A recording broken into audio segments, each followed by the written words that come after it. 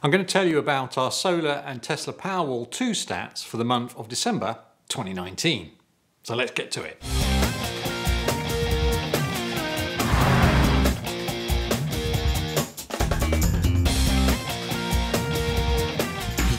Hi there, John here. If this is your first time here and you want to learn more about my Tesla Powerwall 2 and solar PV installations, my Tesla Model 3 Performance and Hyundai Kona, then start now by subscribing, clicking the notification bell icon so you don't miss any new content.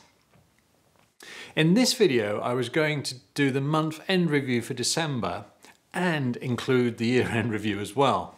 However, thinking about it, I felt that it would be just a little too long and it would make, I don't know, like the film Ben-Hur seem like a short advert break by comparison.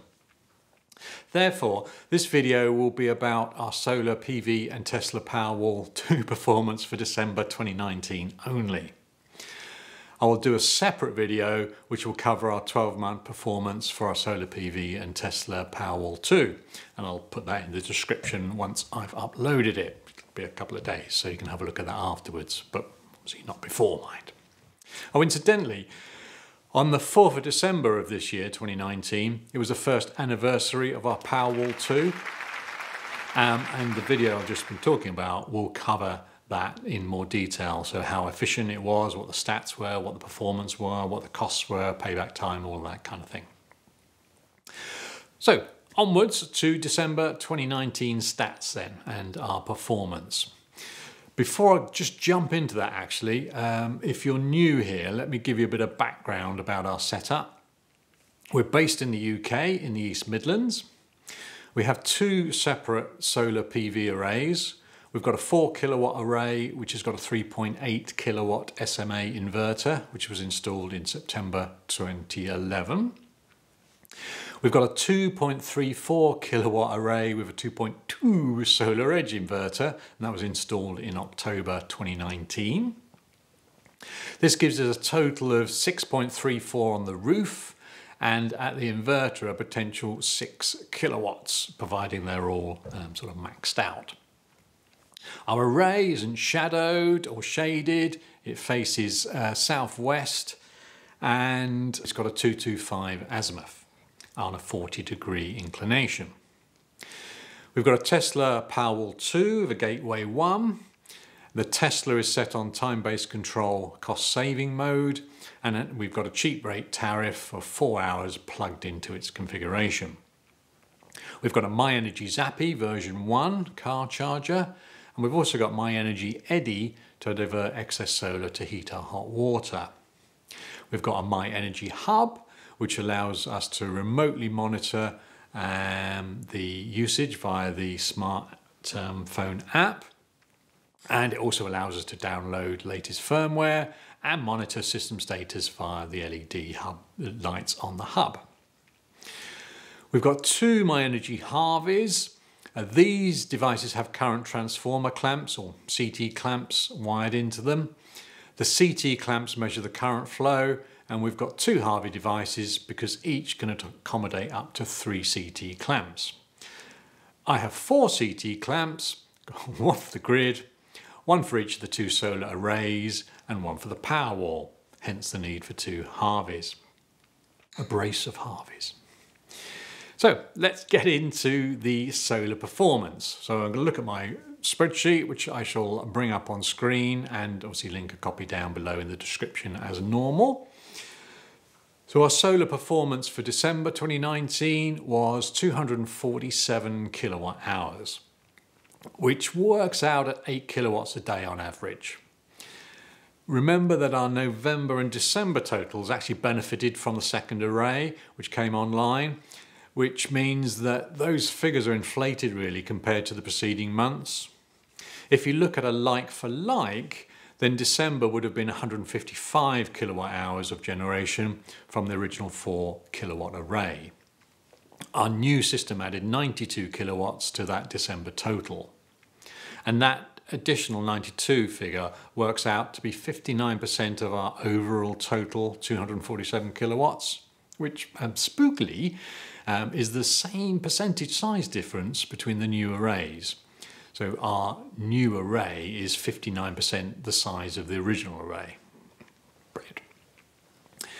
If we scroll down and have a look at the percentage contribution of solar and the Powerwall 2 to overall self-power.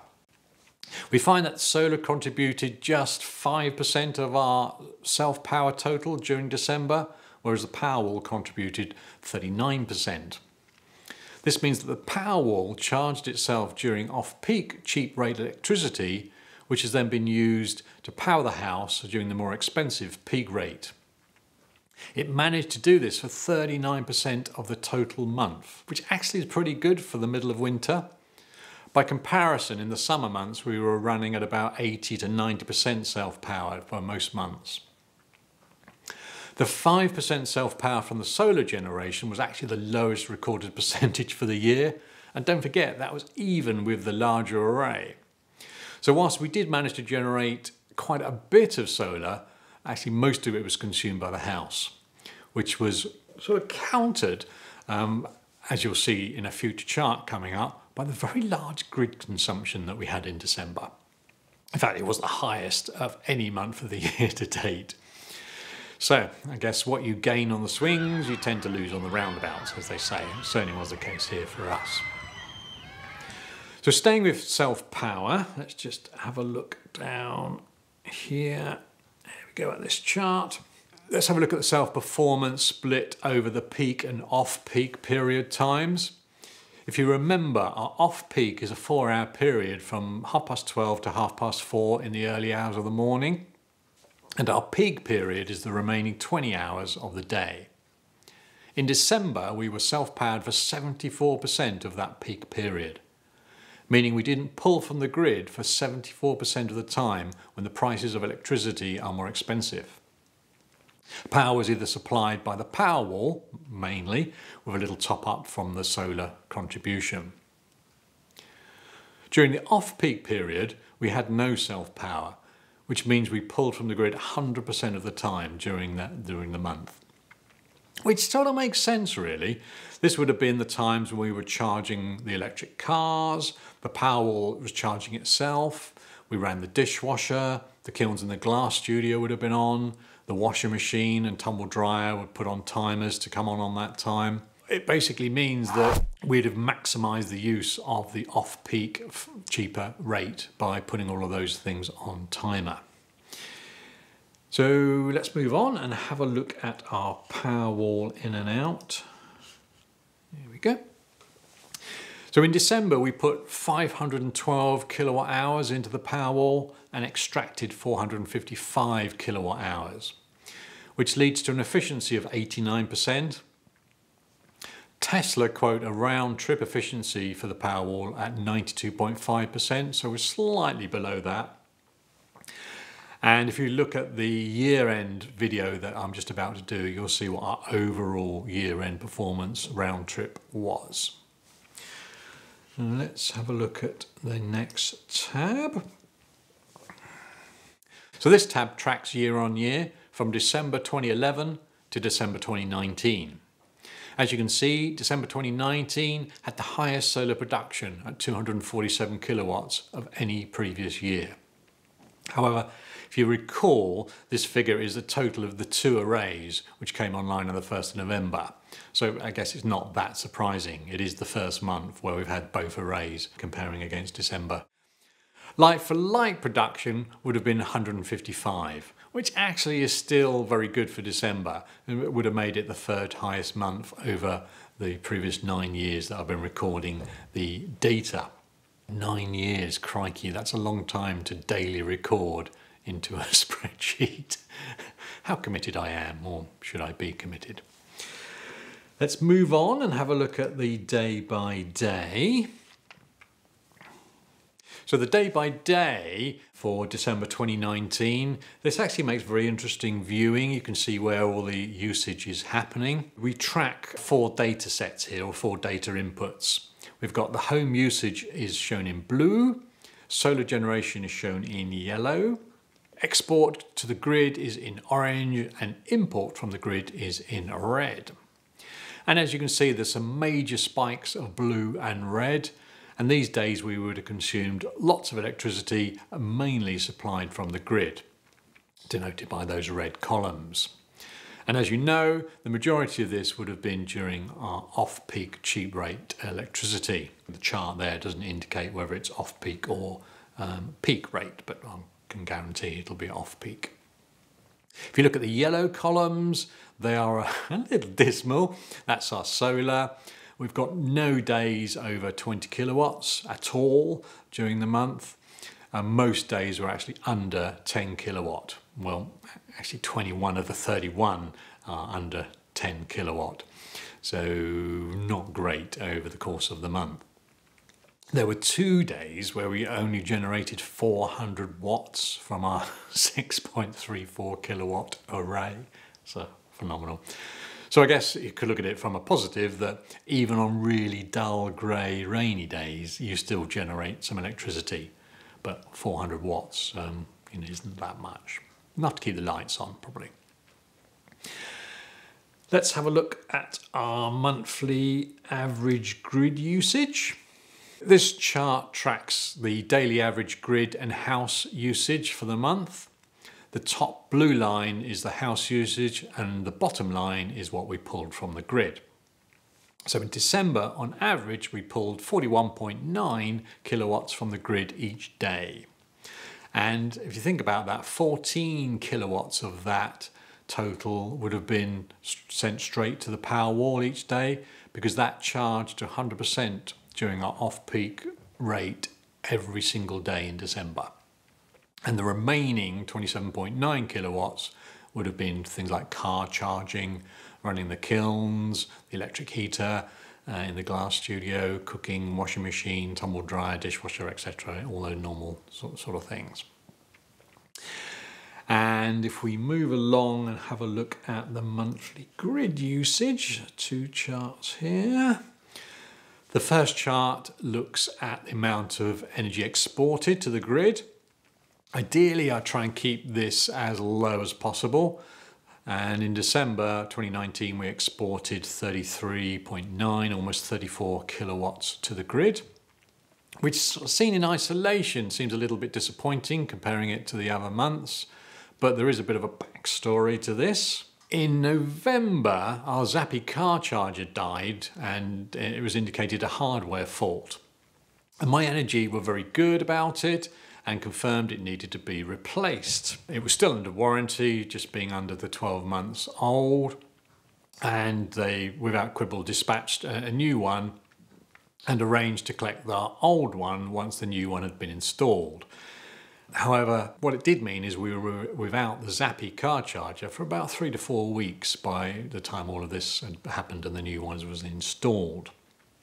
And what this meant that we were charging both cars on granny plugs via a 13 amp 3 pin plug. And this obviously had a knock on effect because we were not able to benefit from diverting the 33 kilowatts that we sent out as in excess solar we couldn't use that to power the cars because the, the Zappi wasn't there, so it couldn't then be set on Eco Plus Plus mode to pick up on any excess solar. Nor could we make really effective use of the four hour off-peak cheap rate time because we actually got very little charge into the cars in that four hours. So they generally had to be on all the time to, to charge on the trickle charge from the, the granny chargers. Did you have any issues or opportunities within December 2019? So if you did, just let me know in the comments below what worked for you, what didn't work for you, what issues, what problems, what did you encounter?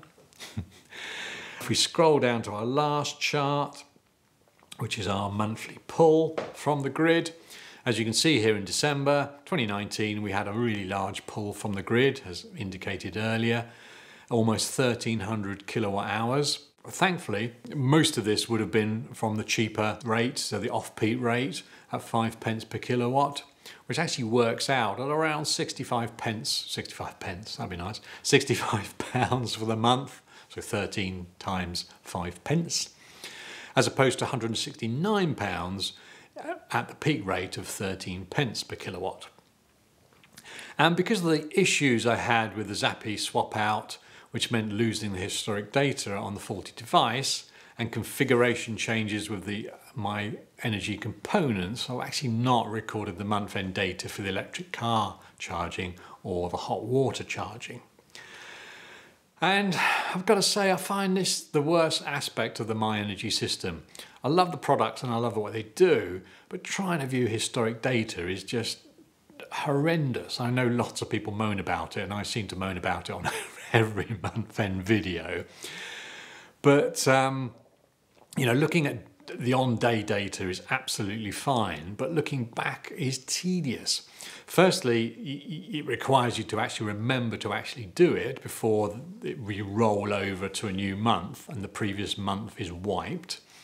Secondly, you have to physically go to the unit, to the Eddi or to the Zappi and manually record the data from the screen, which often results in me not remembering to do it and or can't be bothered to do it.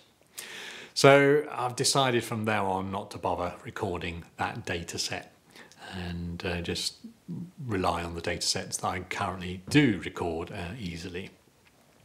So that was my December. How was your December? What worked well for you in 2019? What were your stats? What were your highs? What were your lows? Do tell and drop them in the comments below.